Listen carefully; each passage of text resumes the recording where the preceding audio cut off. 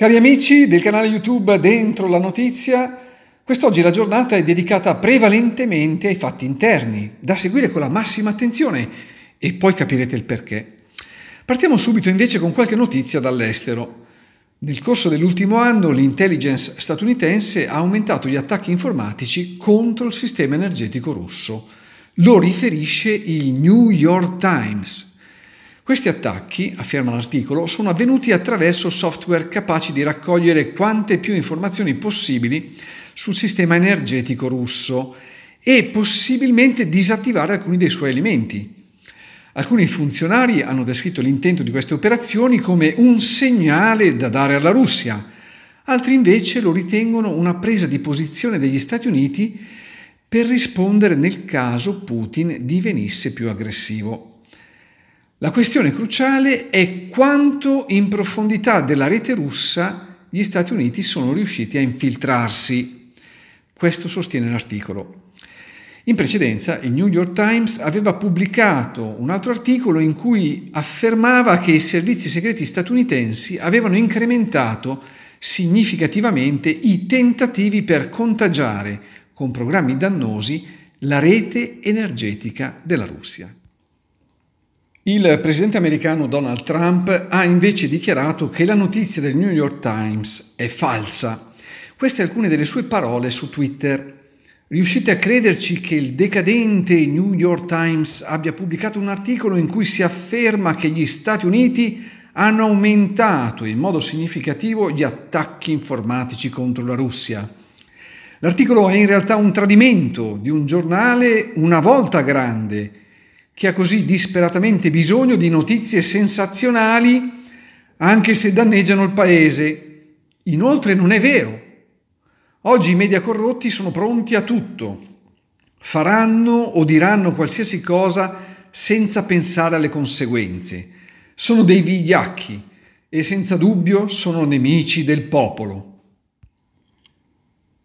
Secondo i dati aggiornati del ministro degli interni tedesco Ernst Seehofer, le richieste di rimandare indietro profughi in Italia sono state nel primo trimestre del 2019 ben 4.602, il 33% del totale delle domande fatte arrivare a tutti gli altri partner dell'Unione Europea.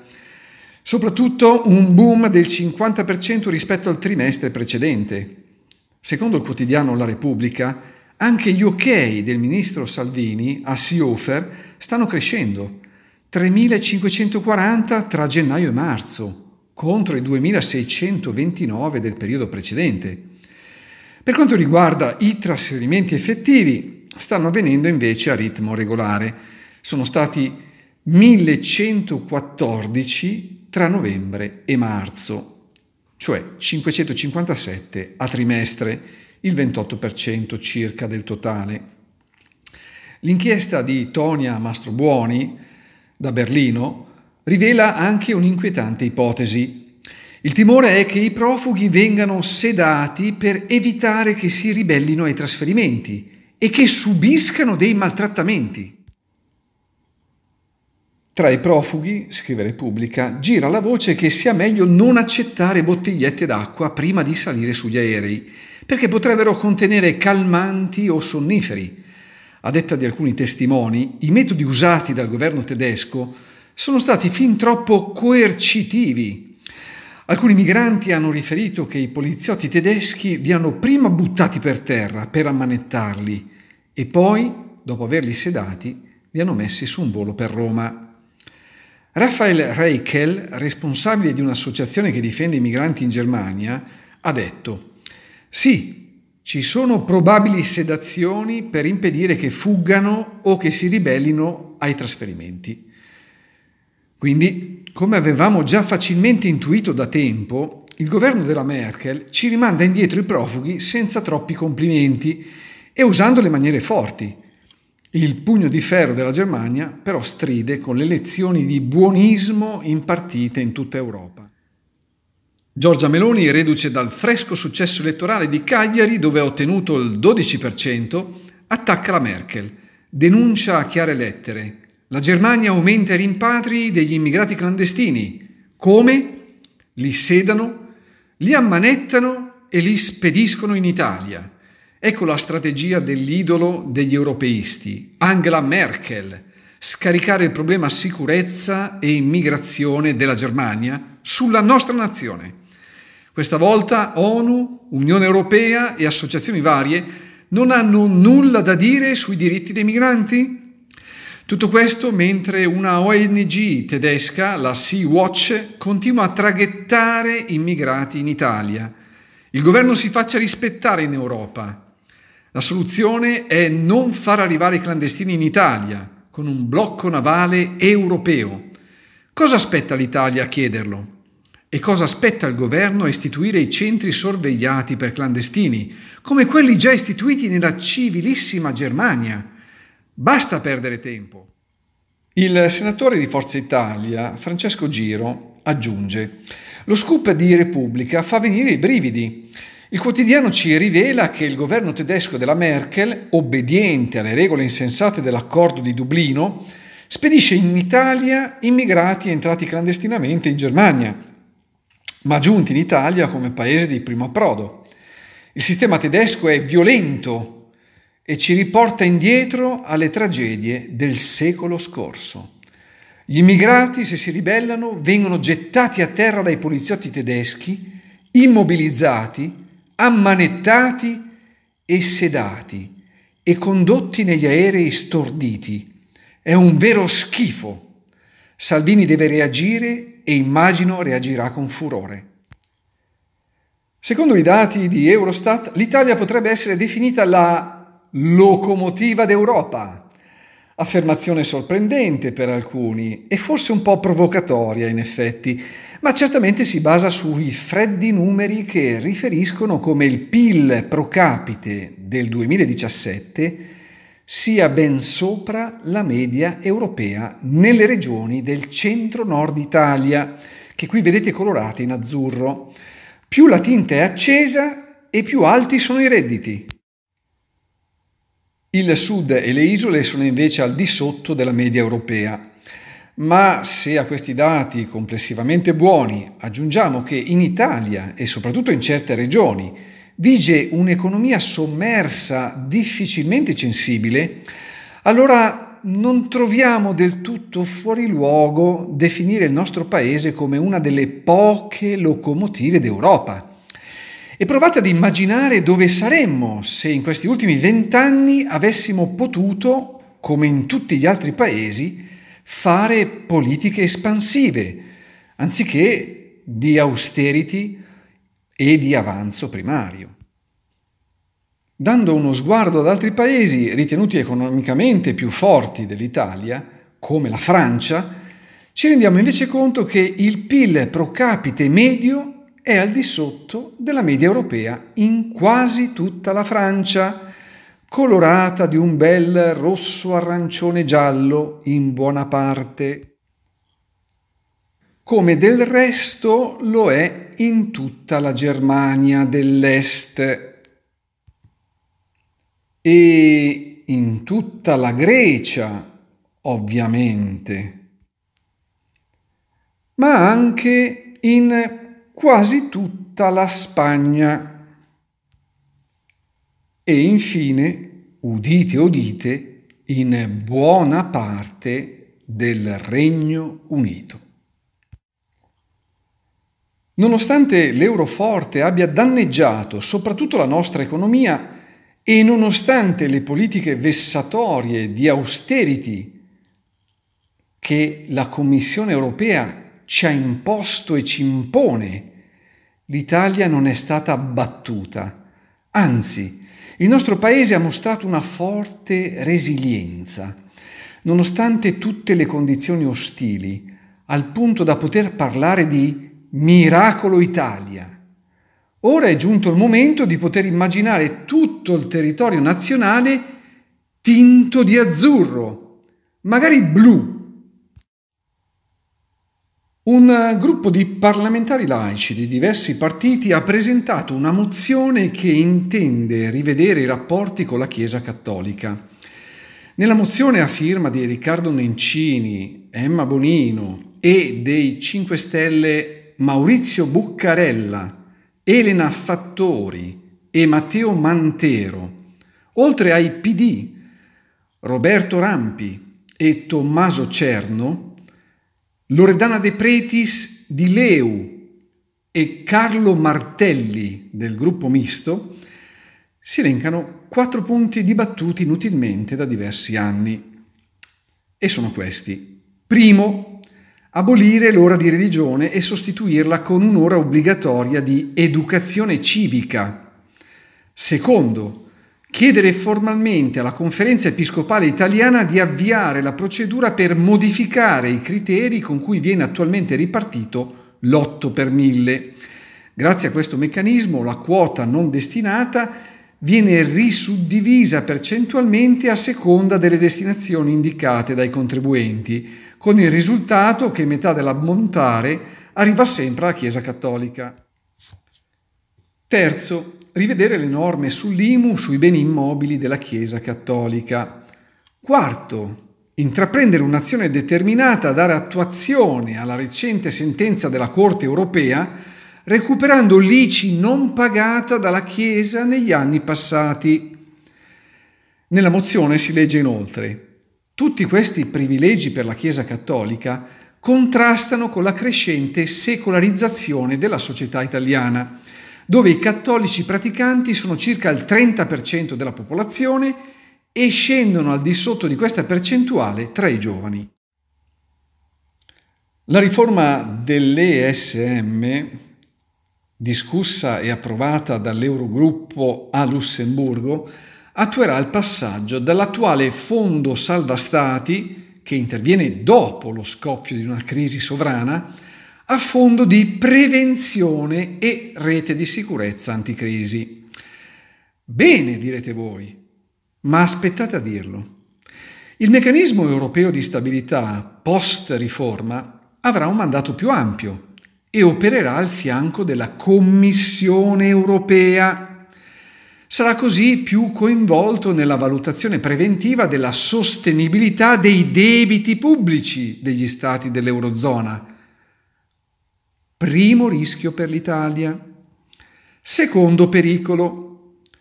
L'ESM avrà inoltre un nuovo ruolo nella risoluzione e risanamento delle banche mettendo a disposizione del Fondo di risoluzione bancaria unico europeo un prestito backstop tra i 55 e i 60 miliardi. Questo paracadute, che agirà come risorsa di ultima istanza, potrà essere regolato in sole 24 ore. E se pensate che non sia stato studiato apposta per salvare Deutsche Bank e le altre banche tedesche, ma serva a proteggere le banche italiane, beh, toglietevi pure gli occhiali rosa e guardate in faccia la realtà. Le due esistenti linee di credito precauzionale, PCCL ed ECCL, finora mai usate, avranno in prospettiva un potere deterrente più forte e una modalità di utilizzo più agile verranno modificate in modo tale da consentire alla prima, PCCL, di poter essere richiesta ed eventualmente attivata senza la firma di un Memorandum of Understanding. Dunque senza condizionalità, come avviene ora, da paesi che non hanno squilibri macroeconomici e fiscali, ma che sono colpiti da shock improvvisi sul mercato oppure finiscono sotto attacco speculativo, nonostante siano virtuosi e fondamentalmente solidi. Quindi l'Italia ne sarebbe esclusa, come anticipato tempo fa. Ma l'Italia potrebbe accedere alla seconda linea di credito, ECCL, post riforma, i cui criteri di eleggibilità dei paesi richiedenti saranno meno stringenti e la condizionalità meno severa rispetto a un programma pieno di bailout, ma resterà però la firma del Memorandum of Understanding. Per entrambe queste linee di credito precauzionali resta invariata la portata deterrente, La sola richiesta di averla a disposizione dovrebbe bastare allo Stato in difficoltà per bloccare sul nascere un attacco speculativo. L'ESM riformato avrà anche un ruolo più attivo nel salvataggio degli Stati perché firmerà assieme alla Commissione europea il Memorandum of Understanding e la condizionalità dei programmi di aiuto totale. Si occuperà al fianco della Commissione del monitoraggio e della valutazione della sostenibilità del debito pubblico degli Stati, anche in via preventiva di qui l'importanza di avere un presidente e numerosi commissari amici, cosa che pare non essere il nostro caso. La Troica non esisterà più, verrà meno anche il coinvolgimento diretto della BCE, mentre l'intervento del Fondo Monetario Internazionale sarà valutato caso per caso.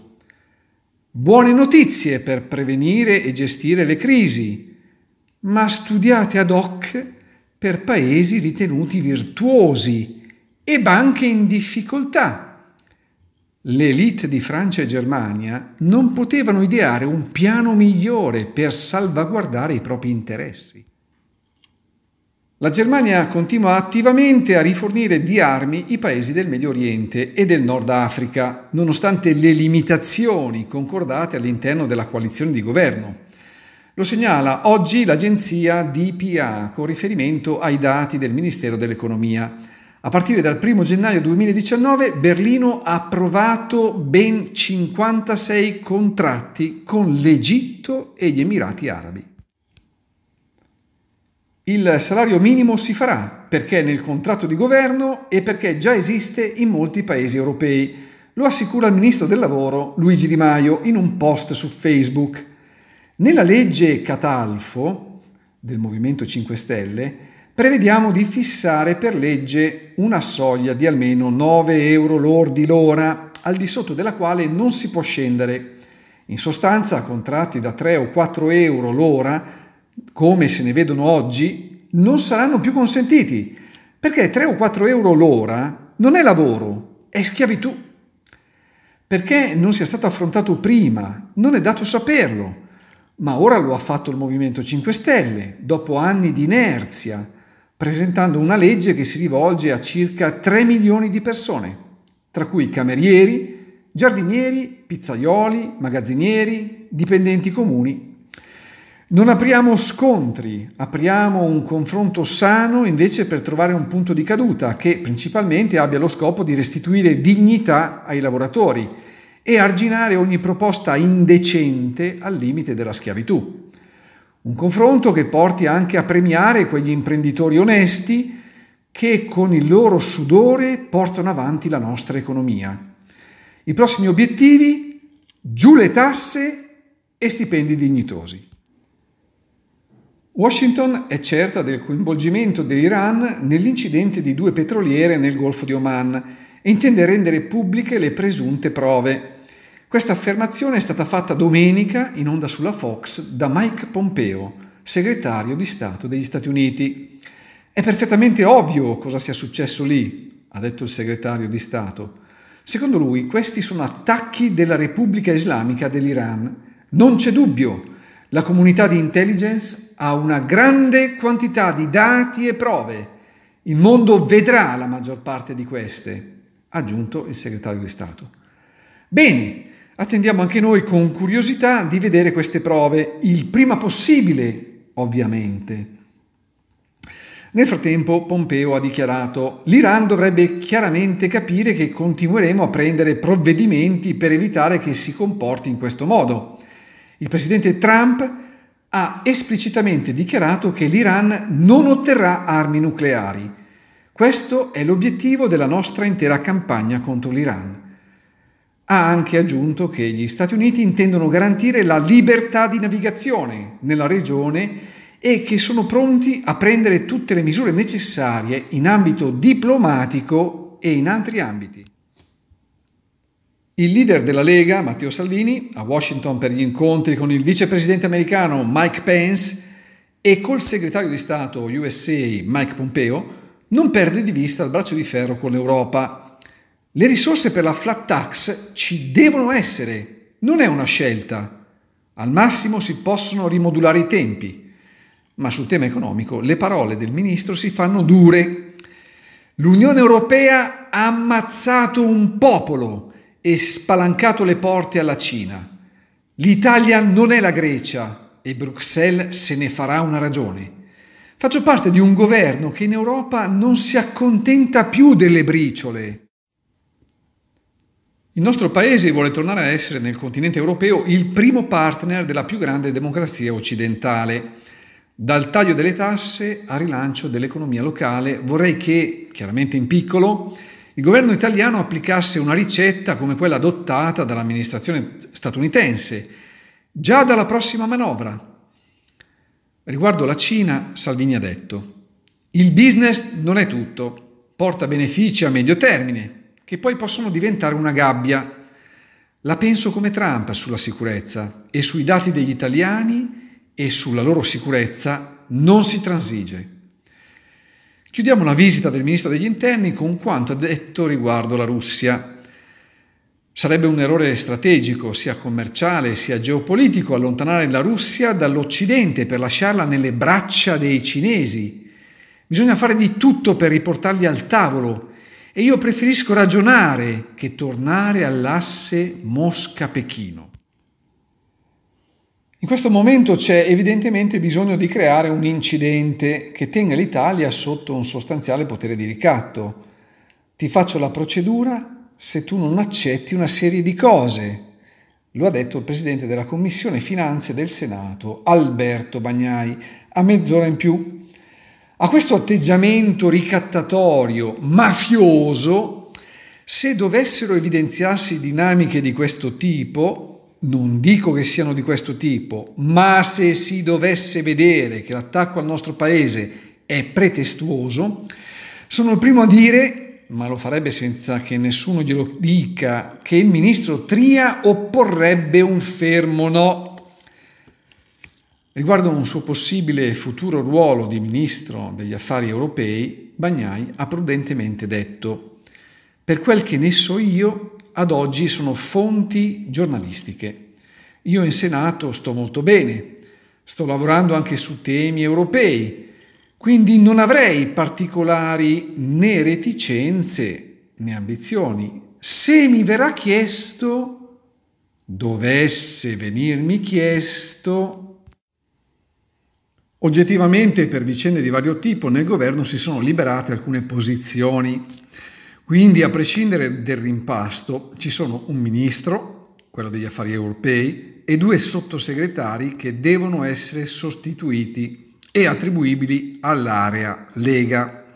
Io sono entrato in politica non per affermare le mie idee, ma per mettermi a disposizione. Anche Bagnai, come Borghi, non fa mistero delle sue forti posizioni contrarie all'euro. Non penso di poter decidere da solo i destini del mio paese.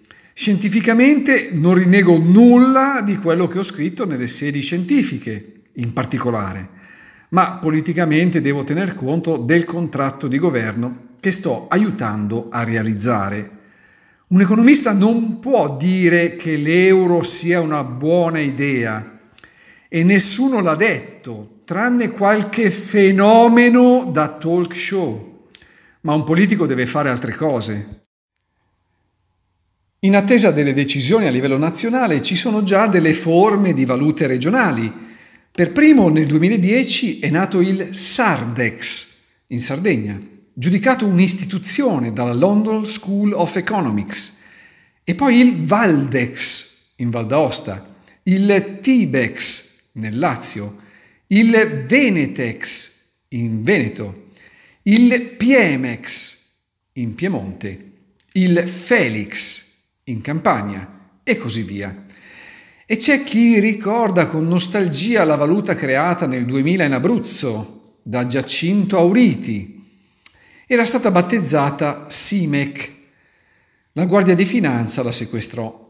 Ma è rimasta ancora nel cuore di molte persone che dicono che la sovranità monetaria deve essere attribuita allo Stato come quarto potere costituzionale e tolta alla banca centrale, che la proprietà della moneta deve essere attribuita quindi al popolo.